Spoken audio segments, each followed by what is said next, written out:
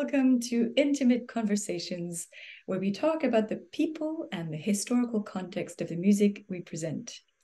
I'm Suzie LeBlanc, I'm EMV's Artistic and Executive Director, and in today's episode, we are, me and my guests, are going to discuss our upcoming production of Handel's Messiah, a co production between Early Music Vancouver and the Pacific Baroque Orchestra and the Vancouver Chamber Choir.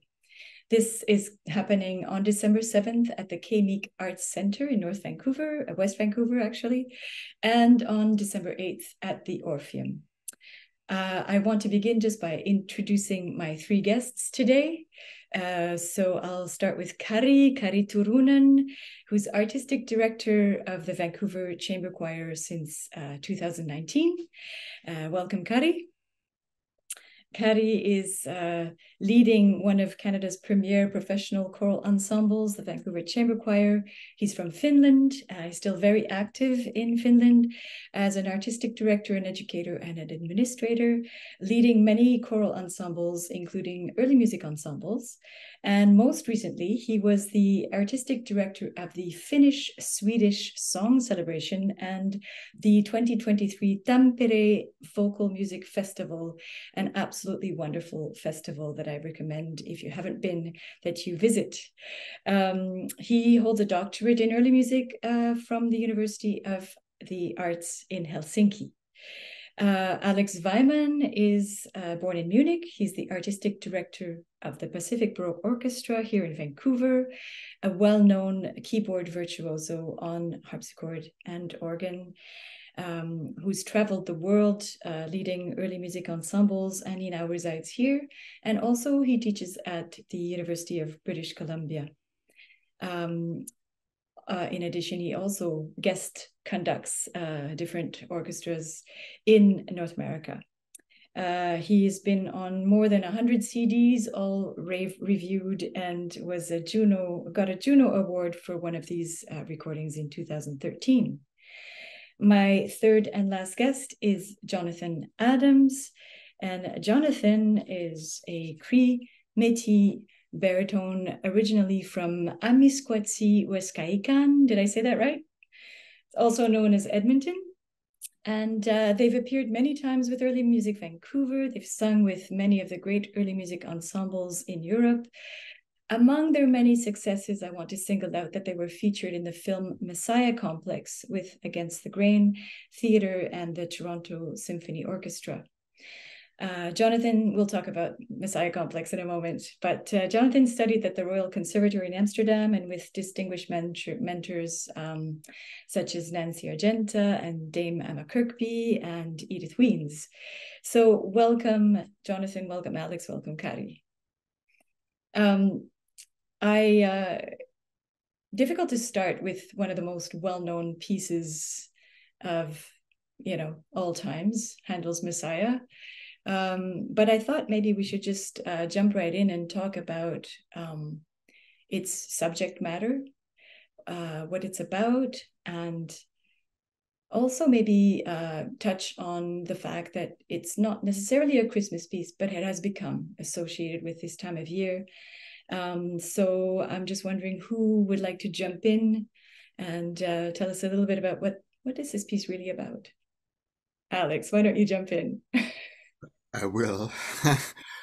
um, well, it has a title, right? Messiah. So it seems to be about a a, a character. I'm, I'm uh, uh, trying to put it uh, in cautious words with without any kind of preoccupations. If you do, if you don't know, if you wouldn't know anything about it, right? It seems to be a novel of some sort about a character by the name of Messiah, and um, reading through it, um, you uh, will see unfolded a, life story, really, um, starting before the moment of birth. So, with the moment of expecting the upcoming uh, birth, and then that arrival of new life, and uh, that unfolding of life with uh, all the suffering that comes, all the labor its uh, its heritage, its uh, legacy, as it were, and um, death and uh, what comes beyond death, some sort of transfiguration. Um, yes, it's uh, connected to Christmas, and yes, it's also uh, uh, somehow located in the Christian context. Though um, I don't think the, the the name Jesus Christ happens so many times in the piece. It does. It it comes, but it's not. You're you're not bombarded with it.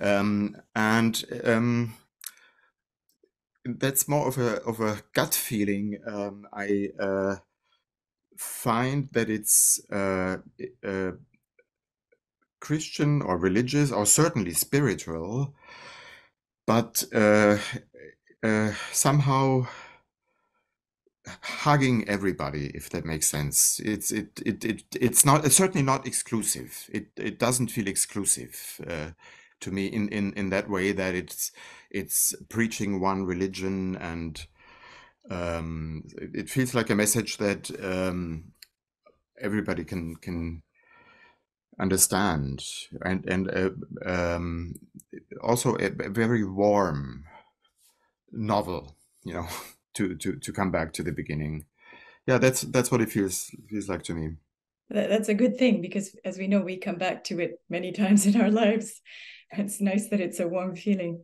Uh, Kari, just is that um, similar to your feelings? Do you have anything to add? Mm, yeah, no, I think Alex is uh, onto something there. Um, I always go back to the way that um, Handel himself identified, which was that he's a composer of Italian opera. And this sort of oratorio comes um, partially, I'm sure, sort of as um, external pressure because of the Puritanism. They didn't sort of like the opera thing. They wanted religious subjects. But I'm sure so also from an inner source, so that this is a pretty good way to go about it as well. But he never ceases to be the opera composer. And he himself defined the Messiah as an entertainment in three acts, which is quite wild. So, the there's this wonderful balance of, of ultra serious um, subject matter. I mean, you don't want to diminish uh, Handel's religiousness at all because it's probably the world he lived in. It was the natural thing. But at the same time, there's this strong um, will, if you like, to entertain. So it, it's, it, I think it's a little bit like, you know, the best TV series sometimes that they're really serious, but they're extremely entertaining at the same time. And for me, this is probably one of the reasons why it's endured time so well that it feels fresh because it that approach is just so vibrant and um, I don't know, just jumps at you, right? Just listen to me and, and I'm going to tell you a story. And, you know, we humans love listening to stories. We do, we do. And, and as Alex said, also the fact that it's so open uh, and still can speak to everyone today is is quite remarkable. Uh, Jonathon, of course, uh, I didn't mention that you would be singing uh, the the bass part in this performance. Um, what are your what is your approach uh, to Messiah? What is it to you? Mm, well, I I started singing it in choirs a long time ago, um, and I've I've sort of worked my way into that uh, bass solo role. Um, I love what Alex said about this sort of warmth uh, inherent in the piece, and what Kari said about um, it being almost like that favorite television show uh, because I think these sort of scenas within the piece are so um, intimate, they're so personal. It almost feels like you're speaking to a friend, whether it's somebody who is out tending to their sheep or someone who's maybe has a more of a military role and is sounding their trumpet or or whatever it may be, mm-hmm. or the the sort of grief of losing a friend in he was despised. I mean, there's uh, there's that that sort of um, piece that uh, Kari mentions of of the opera in the piece is, I think, so much. Uh, maybe maybe it is Handel. Maybe it is his own feeling through the libretto um, coming through, and um, so it's it's definitely stayed a favorite for me since I was a child, and uh, yeah, I love to revisit it. Mm. Thank you for all your beautiful answers, all three of you. And it, it's true. I mean, it, it has such a human quality in, in what you say, Jonathon, of how uh, some of those arias really express a, an individualism in a way and a, and a relationship to someone. Um, we were just, um, I was thinking about the fact that he achieves all that with, in a way, economical means.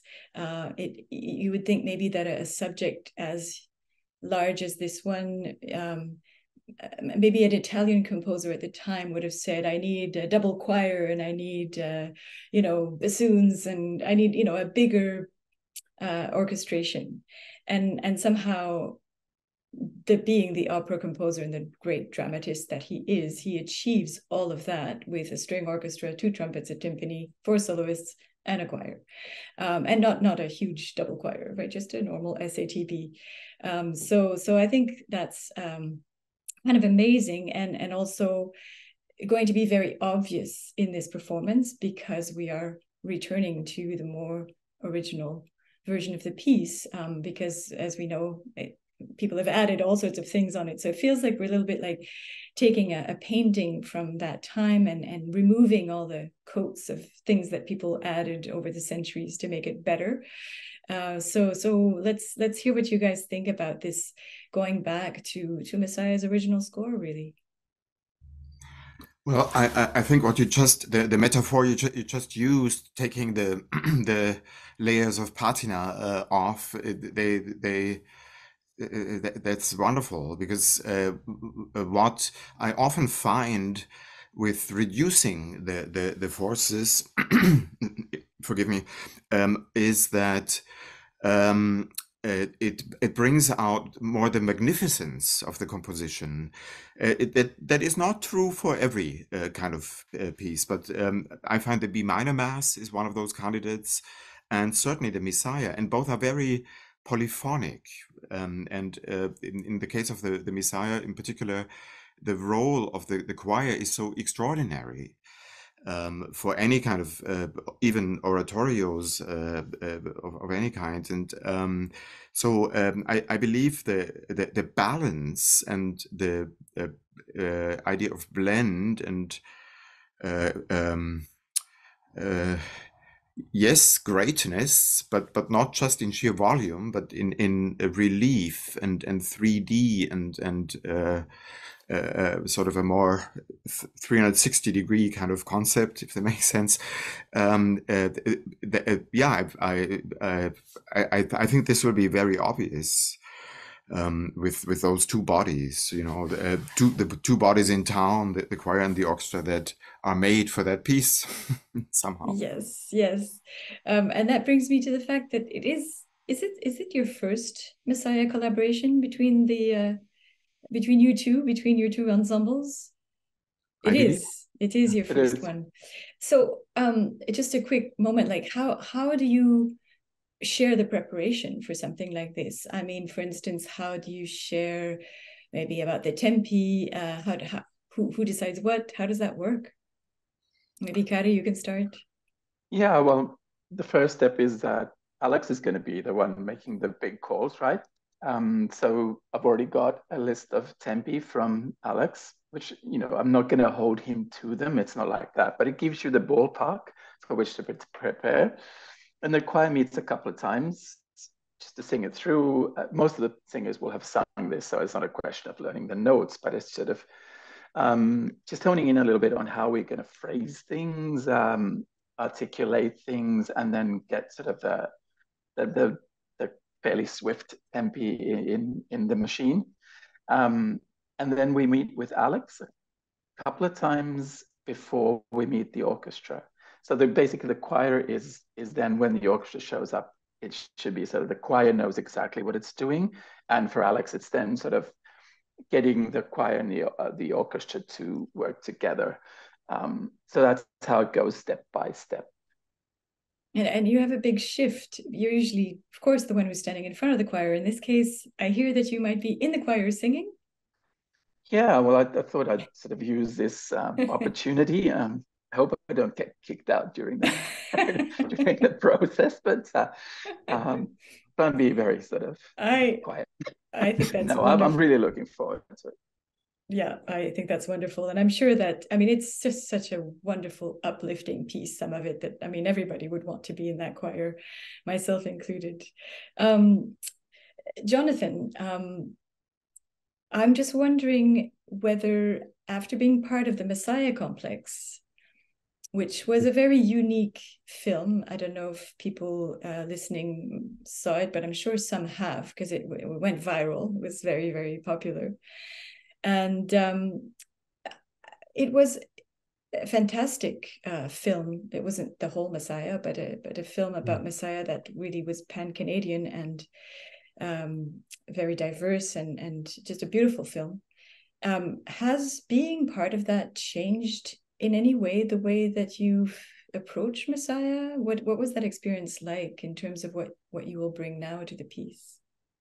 Yeah, it it has changed the way I, I think about the piece. Um, I think I mean I I loved I loved many aspects of it going into that project. Uh, I think the way uh, there's always some maybe clumsiness with the English in Handel, um, but the rhetoric at the, the core of his sort of um, intentions, I think, is just so uh, powerful and.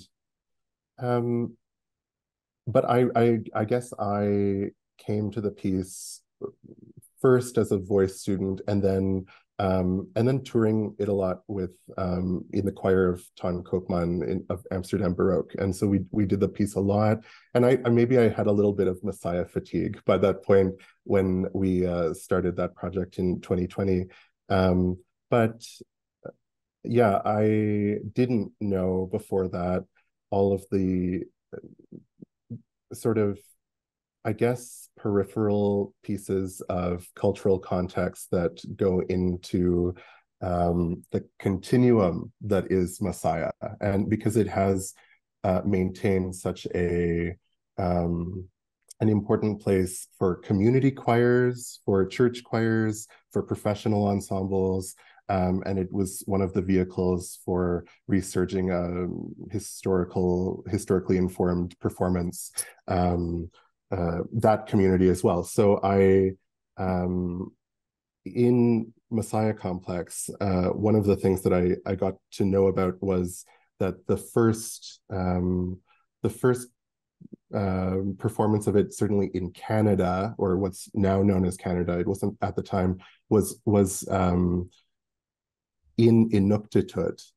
Uh, so that was in the language of the Inuit people, and so it was hmm. used by um, uh, Moravian missionaries in Labrador and Newfoundland to indoctrinate um, uh, Inuit there. And so, I mean, that's sort of a dark side of it. But then since then, I mean, uh, another one of my friends and colleagues who was in Messiah Complex, Deantha Edmunds, who is Inuk, um, she she views this as an opportunity to reclaim uh, Messiah in a very positive and uh, faith uh, focused way in her in her own way.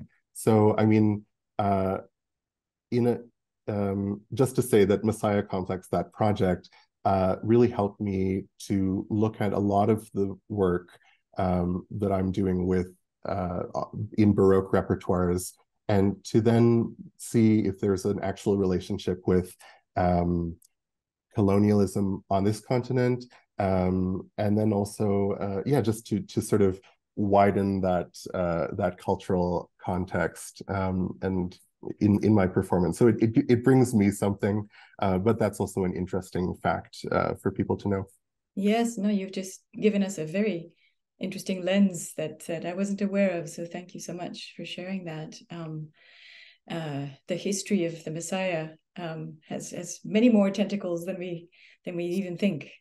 Um, you brought up something both Alex and, and Jonathon about the choruses, and I want to get back to the choruses, which for me, of course, you know, are very much in a way the driving force. I mean, a lot of the uplifting aspects of Messiah come from the choruses, glory to God, lift up your heads, the hallelujah chorus, the amen at the end. You know, there's so many moments uh, that that the choir brings even for unto us a child is born which i cannot listen to without smiling from ear to ear so eh, kari what what yeah tell us something about about you know these incredible choruses in this piece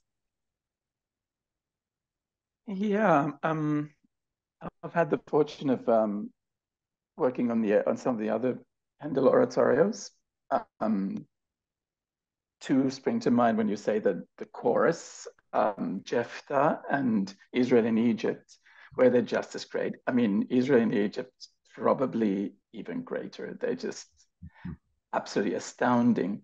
But the difference is that I think that, especially compared to Israel in Egypt, that the choruses and the solo bits and the orchestral bits form um, a much better balance in the Messiah.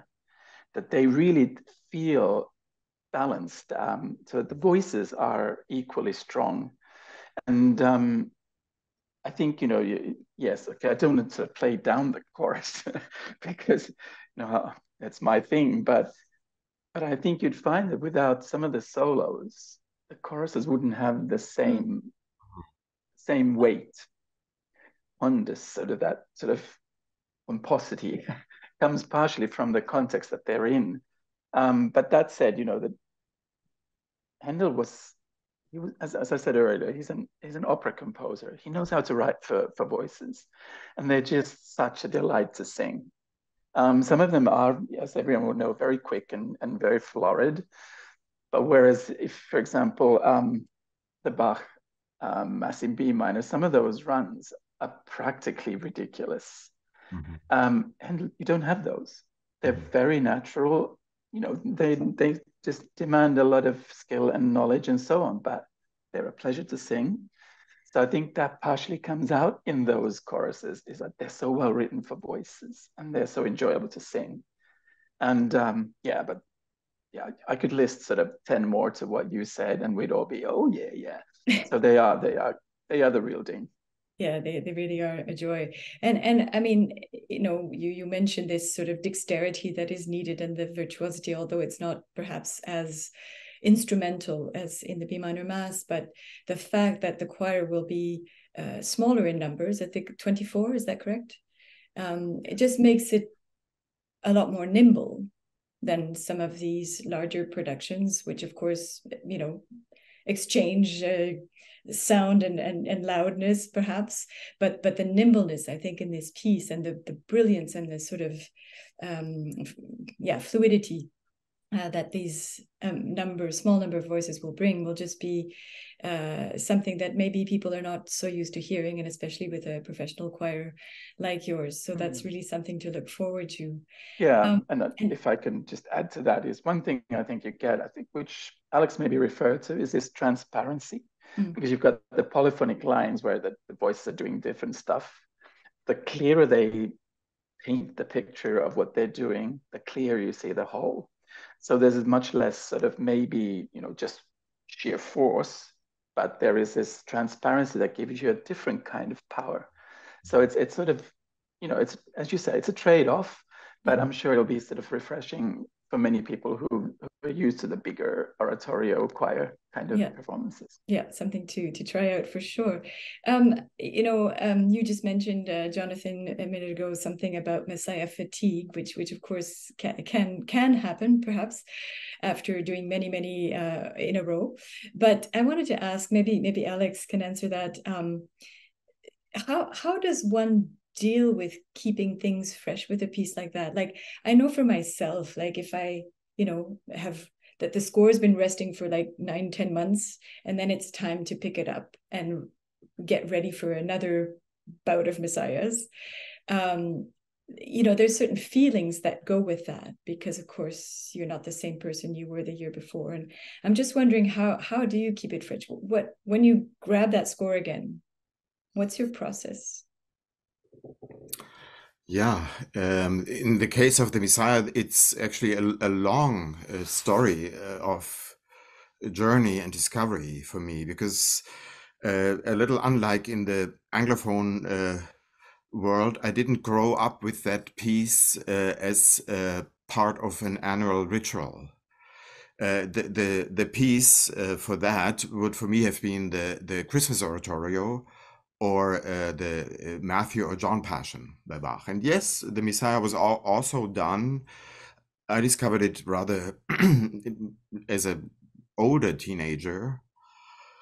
Um, and then uh, I uh, played it as a continuo player for, I don't know, probably two decades. I, I don't know, before I conducted it for the first time. And um, uh, now more conducted it, but uh, it, I I have to say it's uh, it's it's always changing for me. So it it doesn't it al almost doesn't feel like returning to something. Mm. And whenever I'm I have time to actually really spend time with the score again, I'm grateful. And uh, uh, you sometimes find that with great pieces of art right? Paintings that you look at and they seem like a new piece or a, a movie that had you've seen a, dozen times that you're not getting tired of, of, of seeing again. And um, uh, to the other question, which is the um, more physical of, of doing the, the piece in the moment, which is a little a little more of a, a, a, a, topic perhaps for us as we do know uh, cuts of it. So we do really the piece in its entirety which which uh, adds another perhaps 10 or 15 minutes to what you may find somewhere else. Not a huge percentage actually but still it, it needs the breath for, for the soloists. They need the, the stamina for, on the choir side. It's it's um, that um, is something that was harder for me when I was a little younger. Uh, so playing it as a continuo player in performances, uh, I probably I didn't take a look at my watch, but I, I may have felt tempted, and that's something that uh, I, and I'm super grateful for that. Uh, happens less and less uh, for me. And and you do insist on doing the entire Messiah without cuts. Uh, I've I've read that uh, you you wrote that somewhere, um, and why? Because um, and that goes back to what Kari earlier said. Uh, uh, Handel is such a such a skilled opera composer. He is such a skilled composer in anything, and he uses in the Messiah even material from his um, uh, earlier steps as a composer, his Italian years, uh, chamber duets uh, with uh, uh quite uh, secular text.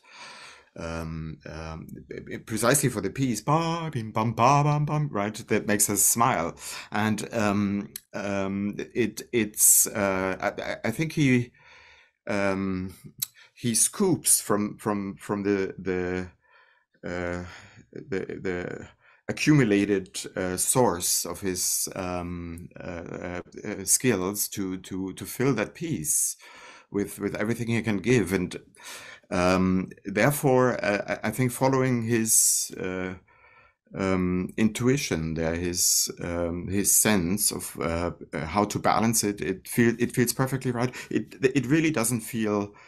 Uh, uh, boring at all. I find it's it's just balanced so well that uh, it could go on for another hour. It's it's one of those things that you could watch, and and if there's a cliffhanger and you decide, okay, no more episode today, it's it's difficult. Take that. yeah, no, no, no. I mean, I also with your tempi, it doesn't just want to reassure people that it's not hugely long anyway, because some of them skip quite well. But uh, I think that there's a, a letter somewhere uh, from the librettist Charles Jennens that that says I really hope that Handel will give his all to this text. And, and he certainly did. And he wrote it in record time. I think it was like really, really fast. I can't remember if it was a few weeks or something, but unbelievably quick uh, time of, of um, inspiration and, and creation, really. So I, I feel like um, maybe we, we've said plenty of beautiful things to make people want to come and hear the Messiah and to hear Jonathon Adams uh, as soloist and, and Alex and the Pacific Baroque Orchestra and the Vancouver Chamber Choir uh, do this wonderful piece uh, for us. Uh, really can't wait for this myself. I want to thank you all for chatting with me today. Um, of course, there's three other soloists that we didn't have today, but that uh, we will meet uh, on the stage. Um, Nicholas Scott, tenor, Allyson McHardy, alto, and Sherezade Panthaki, soprano. December 8th performance uh, at the Orpheum. If you want tickets, you can find them on our website, which is earlymusic.bc.ca Or if you want to go to the Kay Meek Arts Center on December 7th, you can buy your tickets at kaymeek.com. Uh, I just want to say we have tickets for as little as $20. Um, really, anyone can afford to come. Uh, if you're 35 and under, you get a 35% discount, which means that there's tickets from $28 only. So uh, I hope that you'll feel welcomed to uh, this exceptional concert. It's a good way to prepare for the festivities that are coming. It's a very relevant piece for our troubled times because, as we said, it's profound while being entertaining. So please join us. It'll put a smile on your face. I look forward to seeing you there and also to seeing you at our next episode of Intimate Conversations. Thank you so much, Alex, Kari, and Jonathon, for joining joining me today.